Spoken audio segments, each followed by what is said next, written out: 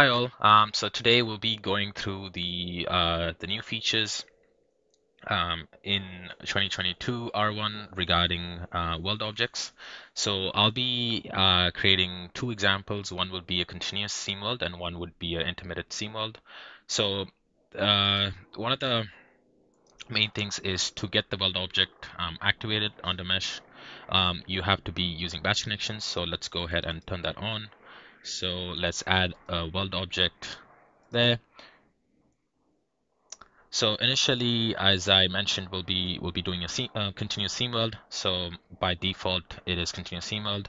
The source either can be a pre-built geometry or a, a mesh-based one. In this case, as you can see, uh, those are just two plates. Let me go back and show the geometry.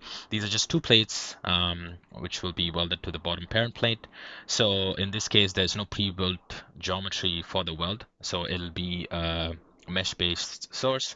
Um, also, you can have a normal and an angled. So what I mean by that is a normal would just be a curtain surface dropping from this particular edge uh, to the parent uh, face. Uh, angled will be, um, again, an angle from this edge to the parent face. For this particular example, I'll keep it simple. We'll just keep it normal. We'll be creating use. We'll be creating this using an edge. So let's let me change it to edge selection. Click this edge, hit OK. So there are a number of options and features you um, you know under under definition.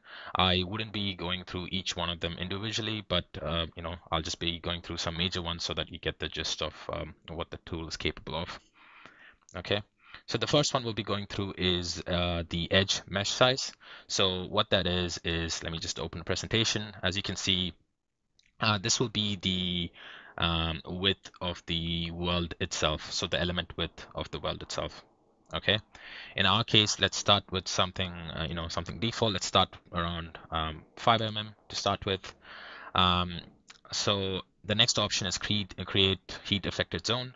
Um, which is basically if you know if people are using different terminology, it's also called the toe region um, in in some sense. So I have that to uh, set yes.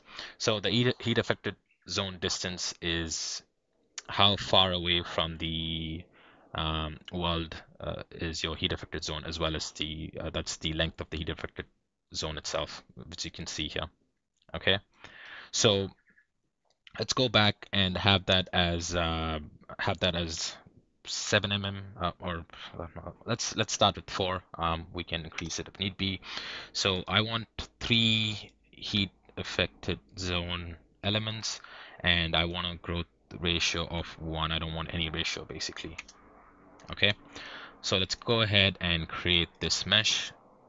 Right obviously I did not change the global mesh sizing so let me just change my global mesh sizing to say is 5 mm and recreate the mesh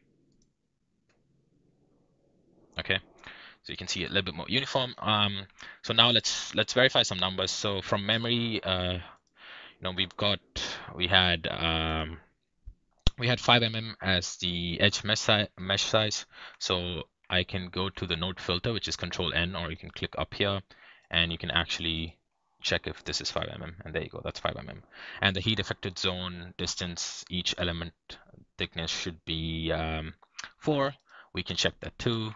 That's 4, and we've got three um, row basically, row 1, row 2, and row 3.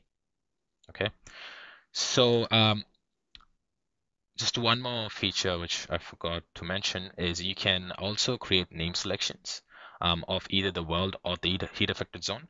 So how you do that is you can pick what name selections you want. So in this case, say I want the third layer, which will be the outer layer. Um, I pick it and then let's generate it again. So if you expand and click, uh, so you can see that's the third layer of the heat affected zone will be put in a name selection. Okay. So uh, that's basically how you create a continuous um, continuous seam weld using Mechanical 2022 R1. Um, let's now go ahead and look at how to create an intermittent um, seam weld in the second example.